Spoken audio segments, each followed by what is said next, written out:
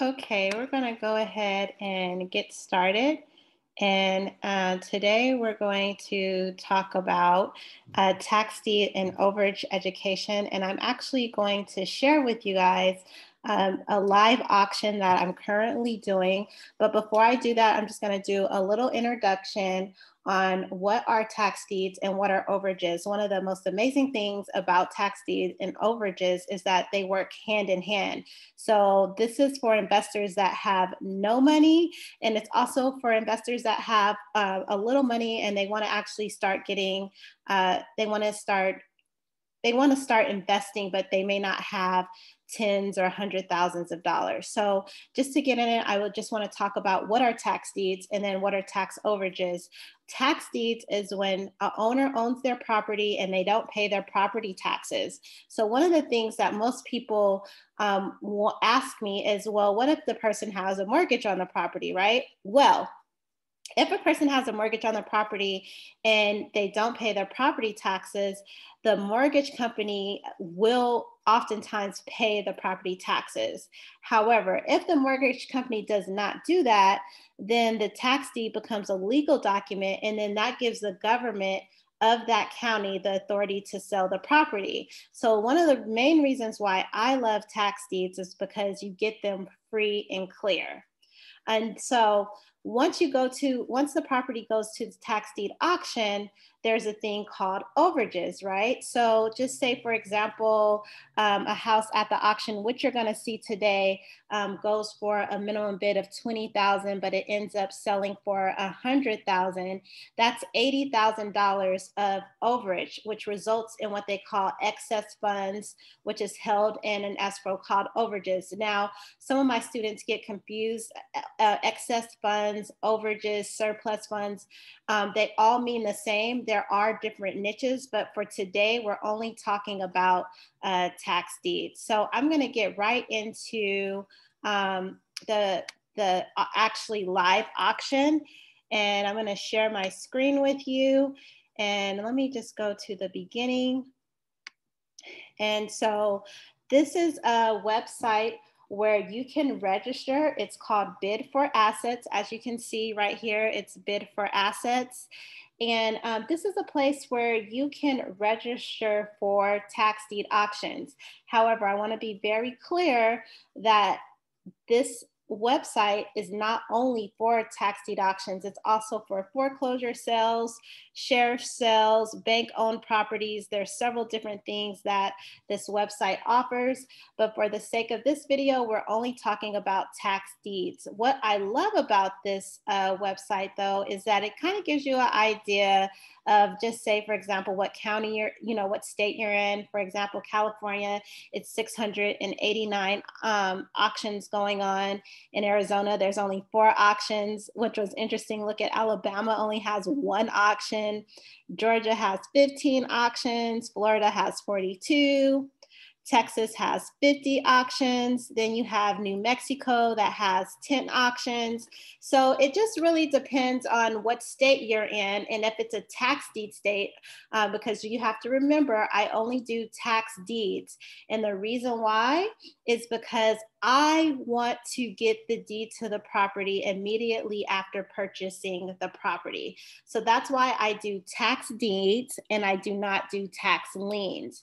Um, tax liens is pretty much you get a certificate, you don't actually get the deed to the property. So, for the sake of this whole live auction, I'm going to show you the process on how to uh, bid at a live auction for a tax deed. So um, you can click right here and we're gonna go to county tax sales. And um, this is going to show you all the tax sales that are happening in 2021 calendar year.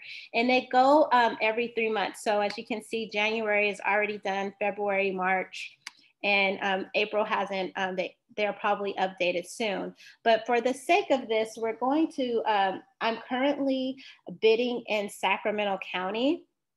Even though I'm in Texas. So, one of the things that I really love about this is that you can pretty much do this anywhere.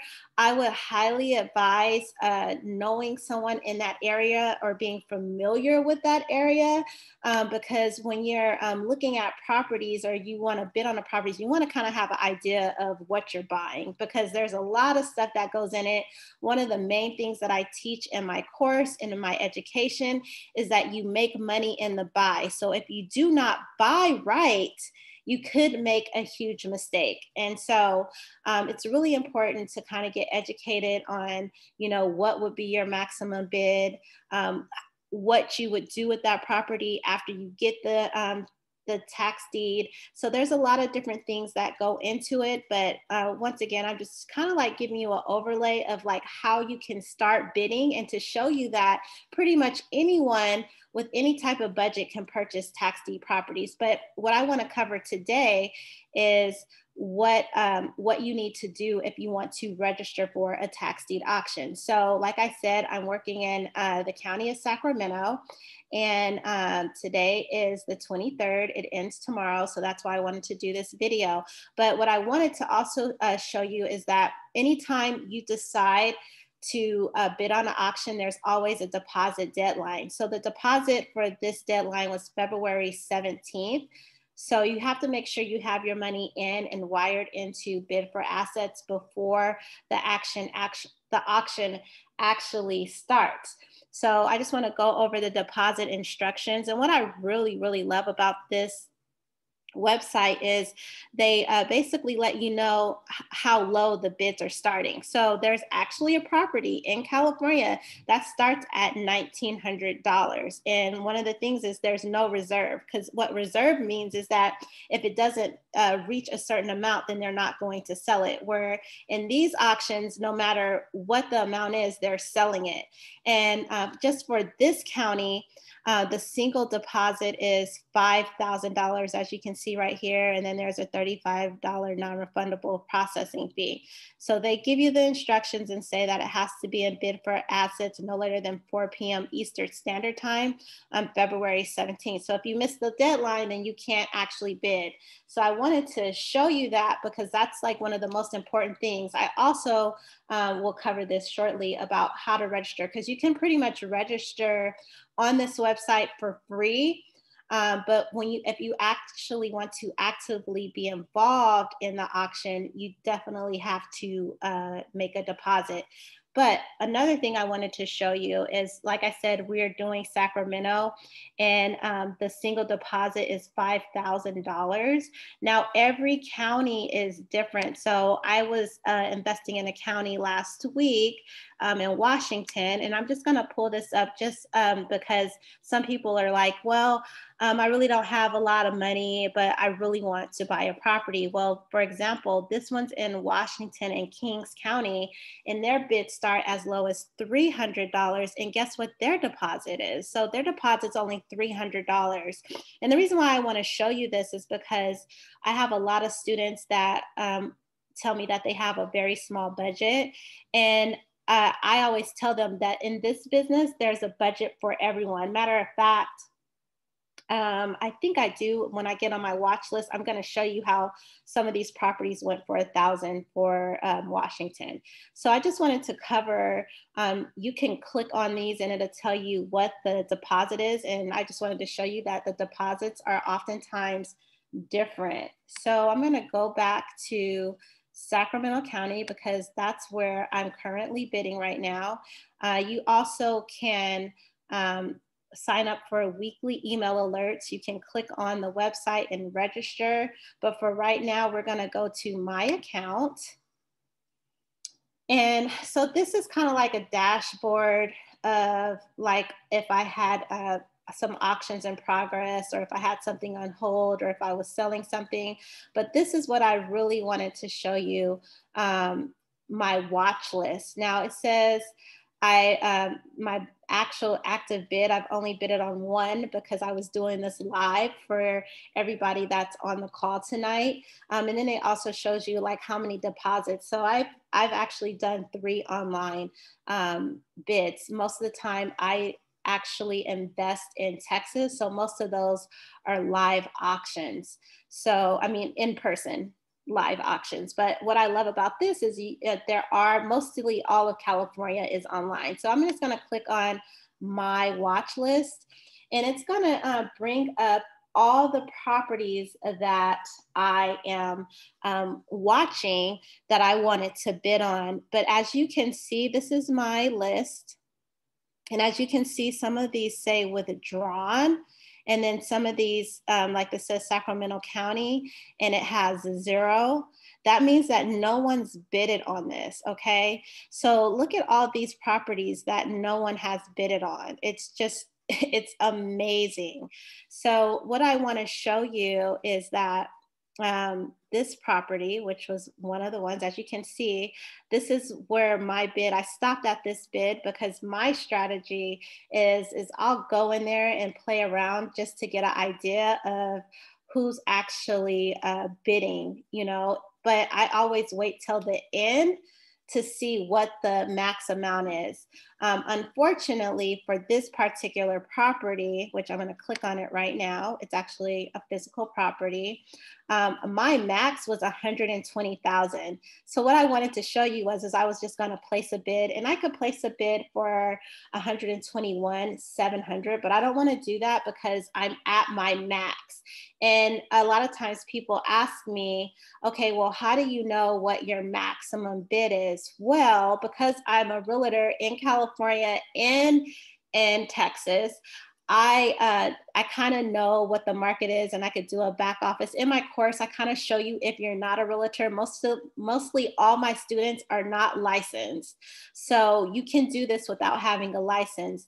But I say this all to say that you need to know what the actual fix up cost would be for this property to determine your bid. Now, I personally do not like to do fix or flips. I literally wholesale all my properties to flippers. And with that being said, my max was 120 because that would have been 70% ARV of a fix up price, meaning that this particular property on El Cajon in Sacramento sold in uh, February for 180,000. So 70% of that was at 100 and I think it was actually 123, but I kind of like I was like at 120 was my max. And the only reason why I was doing that is because I'll go back and I'll show you there are some other properties that I was interested in. But what I wanted to show you as well is look at this minimum bid. The minimum bid was $1,900, but look at how many bidders. So there has actually been 56 bids. Now, the interesting thing about this 56 number of bids, this could be me and four other people. It could be me and another person you really don't know. Um, but I'm going to guesstimate it's about five people um, on here. Um, and also, too, what I will, wanted to show you is that um, when you place a bid, which I wish I would have uh, probably did this sooner than later, is that sometimes you can go in and you can actually place what your maximum bid. So when I was bidding earlier, um, this week, which was I think when I started, it was on Monday. Um, I just I set it for a hundred. I set it for sixty one thousand. But as you can see, this minimum bid is nineteen hundred. So anytime someone went up, I it automatically I bid it for a hundred dollars. And so my max was sixty one, which I'll go back there to show you that. And um, in this, so basically, I didn't actually have to be um, physically online as if someone bidded 2000 or 2100 every time someone bidded i automatically was bidding $100 over until i got to this point which was 61000 and um, like i was telling you before um, I was gonna go up to 120,000, but my strategy is I kind of wait till the end of the auction, which is in right here. It tells you 18 hours.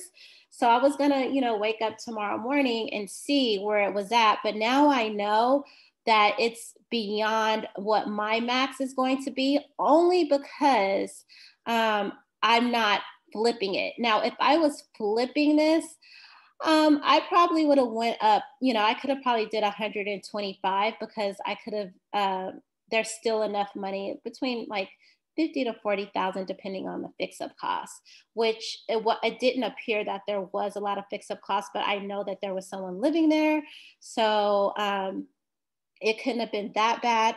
One of the things that um, I just learned about California, just doing this auction alone, is that um, once these properties go to the auction, there's no redemption period, meaning the owner cannot come back. In the minute this auction closed, you immediately get possession of that property, which I love. Um, I wanted to show you, let me go down here. Okay, so remember I was telling you about Kings County, Washington. So it closed at zero dollars. Um, and so I wanted to show you, I think this is one of them. Yeah, oh, the minimum bid was $800. Nobody bought this property. So I just wanted to show you this because it's like sometimes people don't believe me when I say that you can get property for eight or five hundred dollars you really can as you can see these were all the properties in kings county and washington and none of these sold now you may be asking why why did none of these sell? Well, there could be several different reasons. Um, my number one reason is a lot of people don't know about this, and um, or a lot of people miss the deposit deadline, or they don't see value in land. There's so many different reasons um, why uh, people don't bid on it. Um, I've been blessed to get good properties and wholesale them, but I always know my strategy before going in. So this is what a watch list looks like. Now I did test this. So if you go in, you can actually, um, you can actually uh, do a watch list without bidding on them because I um, wait, did I do this one? Oh, I did make a deposit on this one. So I don't know if you can actually do this unless you do the deposit. But for $300, it's worth it. And let me tell you why. That leads me into my next session about overages. So, for example, for those, remember I talked about overages? So, one of the things that I've learned by doing overages is that, let me go here, because this is like my favorite. I'm actually going to go after this one. Um, one of my favorite things about overages is that um, if you don't have any money, right? If you like, you know what, you've always wanted to get into real estate, but you just you know you, you're very limited on your income.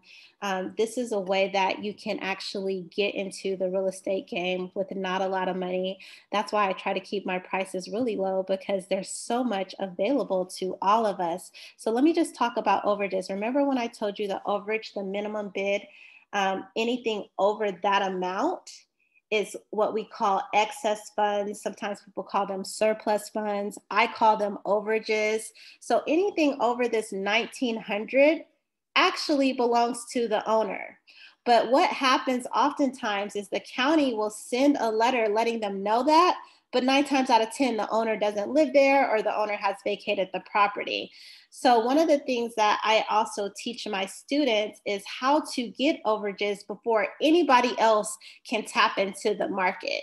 So, I'm going to just go back. So, just imagine this. I'm just going to just say, um, this roughly, which I'm sure it's going to go higher, is $120,000 worth of overage that the owner um, can collect. And I'm here to tell you that 99.9% of the owners do not know they can collect the overage amount to this property. So that leads me back to this little watch list that I have.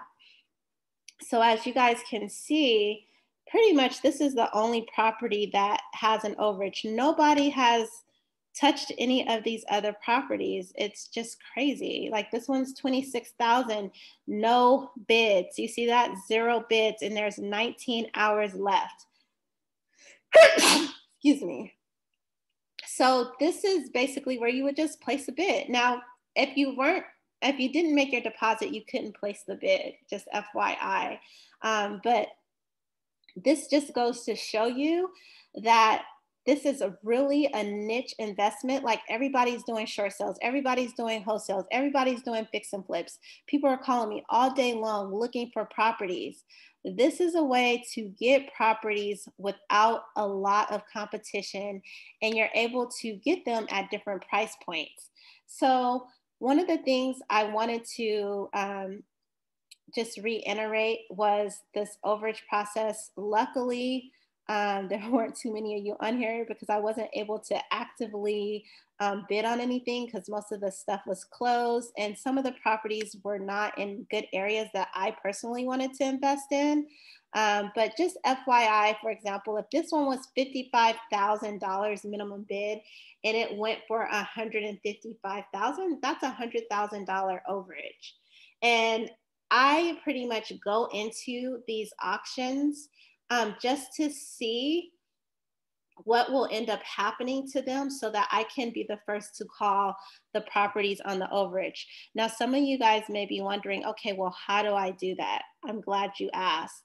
Um, in my course, I give you step by step on how to go after what you need to do, a process on how to locate the owners, where you collect the forms, where you can get a list. However, once the list is posted, pretty much everyone that's in this niche market already has access to it. So I show you a way where you get it before everybody else gets it.